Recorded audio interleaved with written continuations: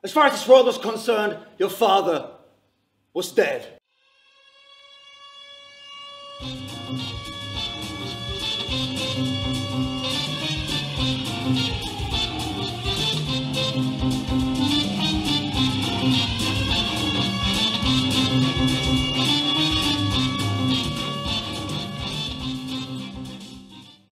Why he called me Uk the Nuke? Of all the names possible, Uk the Nuke. On January 7th, 3000, Uk the Nuke was shot dead by his brother Zordan.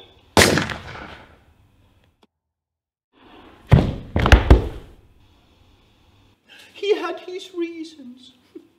One day, one day you will understand. I started thinking maybe my dad was uh, another James Blunder on a secret mission. but if he was, I mean, he would have to come home at some point. And then he, like a tree trunk, he fell. He was the boxing champion of the world, and he was afraid that Hoolanders would find out. The heavyweight boxing champion of the world is gay, knowing their persecution and intolerance towards gay people.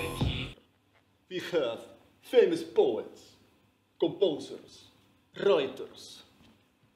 Name me one famous Euclinder. Mom! Where's my... Where's... Now where am I? Now where am I? Uke the new t-shirt!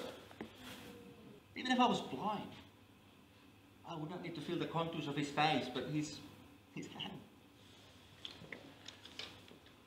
You know the last feeling of being held? It just never goes away.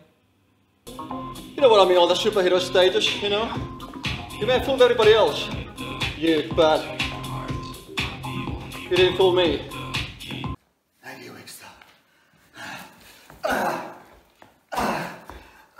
What are you doing, Dad? You're killing him, and, you, and you're killing me.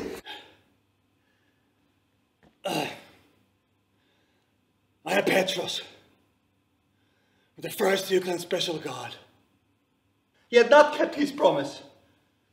Kill Wixter now. I was going to die.